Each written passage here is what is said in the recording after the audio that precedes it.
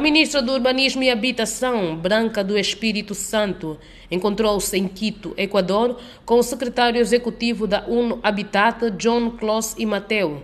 O encontro decorreu à margem da Conferência das Nações Unidas Habitat 3, onde Branca do Espírito Santo representa o chefe de Estado angolano José Eduardo dos Santos.